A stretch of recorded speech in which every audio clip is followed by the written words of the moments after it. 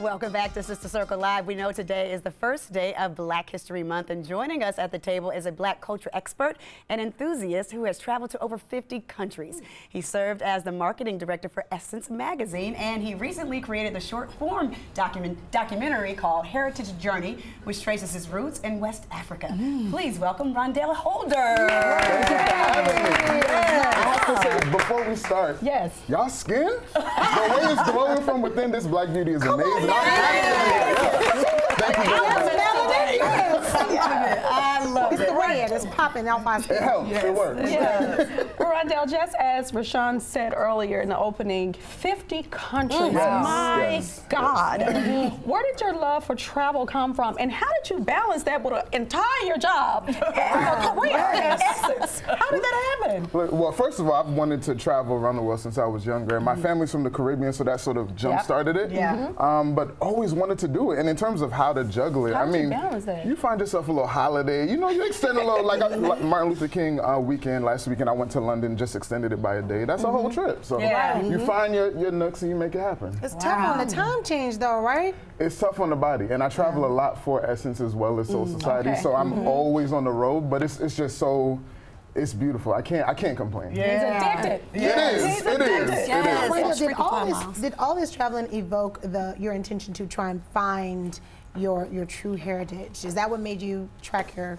your, your family line? Yeah, absolutely. I mean, once you start traveling, and I took my first trip to Africa 3 mm -hmm. years ago to South Africa, and there's just a certain I feeling that you get when you're on the continent. Yeah. Yes, that it is. It's, it's unlike anything it's, you've ever you felt. You just feel like absolutely. So I was drums is outside the airport. Hello, and people talk about Wakanda, but it's like it's a real experience when yes. you get there and see the potential of, yes. the countries that you're in and.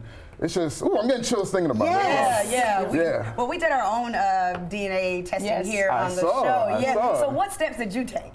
I mean, after I took the uh, Ancestry DNA test, mm -hmm. um, I got a list of countries that I was from, and I just decided to partner with the Points Guy. Um, shout out to the Points Guy to do the Heritage Journey documentary. Wow. Um, I started with the first two countries, Togo and Benin, and I'm planning to go to all the countries. So Ghana, Ivory Coast, Mali, Congo, Cameroon. Mm-hmm. Really, I want to see the entire continent. But with this documentary, I'm just oh, going through all those. That's countries. so much fun. I'm gonna have fun just watching. Right. Thank you. I thank do you. that. I have, not, I have not traced my DNA yet. And I think that's something I want to do. Oh my God. I'm, I'm, I'm think, I think I'm going to be like really shocked mm, to yeah. see, um, you know, all, what yeah. my full heritage is. What about your experience in doing your DNA test? What What was the most shocking thing you learned about your heritage? Well, one, I didn't think that they would be able to pull out so many countries that my, my heritage was from. I thought wow. it would be one or two, but mm -hmm. when you think about it, you know, after you know our our ancestors were taken from Africa, there's some taken from Benin, some taken from Togo, yes. so it makes sense. Mm -hmm. um, and and then also to see the percentage that wasn't black and just understanding what that means. It's a it's a deep mm -hmm. understanding of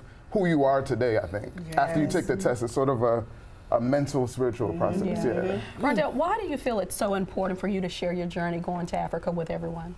I think there's so much misconception about Africa and and the people there and, and the, the economic mm-hmm, situation, mm -hmm, mm -hmm. I've had nothing but beautiful experiences. And wow. I want everyone to see how beautiful the beaches are, how nice the people mm, are. Yeah. You can hang out. I'm going to brunches and day parties and I'm shopping and I'm like, this is Africa. And I want everybody to see that yes. version. Yeah, I yeah. over there. Yes. I, gotta, I gotta get there. Yeah. yeah. yeah. Well, you just kind of described everything that we will see. What will be something that you think will surprise people mm. from the mm. documentary? I think um, when I was connecting with locals and seeing mm. just how similar oh, we are, yes. I'm connecting with young black creatives in these countries and they're just, they're, they're living a life parallel to us here. -hmm. But it seems so disconnected disconnected when you don't go and see it for yourself. Right, right. But we're, we're chilling. Yeah. You know what I'm saying? Look at look at this. We're chilling. We're hanging out. Yeah. We in boats and stuff. This is Gambia. It's considered the Venice of Africa. Yes. Yeah. yeah. That is fantastic. Beautiful.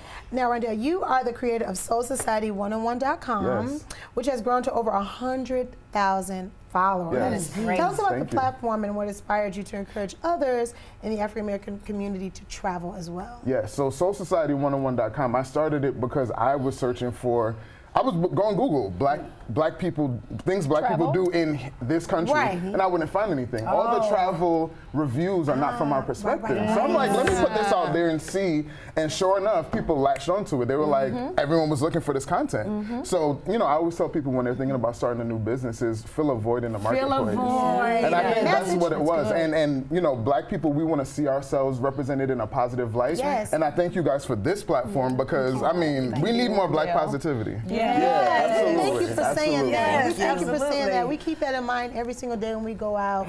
We just want to be proper representatives of our culture. Absolutely. Thank you. Exactly. And let me tell you something. I am a frequent flyer hoard. Like I want my numbers to be at a certain level. I'm, you know, that million mile thing means a lot to me. Listen, I just got those sets. Come on, somebody.